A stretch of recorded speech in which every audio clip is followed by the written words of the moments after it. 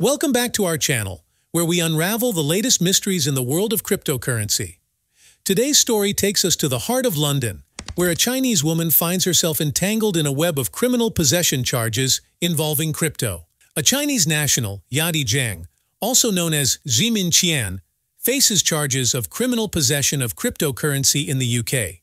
The accusations span from October 1, 2017 till the present, alleging her involvement in acquiring, using, or possessing illicit cryptocurrency in London and beyond. Despite denying the charges, Zhang found herself in Westminster Magistrates Court, where she opted to plead not guilty, with her lawyer asserting her innocence. But how did this saga unfold?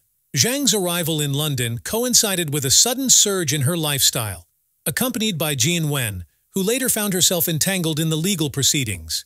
Their extravagant spending spree and questionable transactions raised eyebrows, leading to investigations that uncovered the UK's largest ever cryptocurrency seizure. The roots of this crypto scandal trace back to a massive investment fraud in China, where Zhang orchestrated a scheme defrauding thousands. The subsequent influx of illicit Bitcoin into the UK propelled Zhang and Wen into a world of opulence and deceit, ultimately leading to legal repercussions. And that wraps up today's video. If you found this content intriguing, hit the like button and share it with your fellow crypto enthusiasts.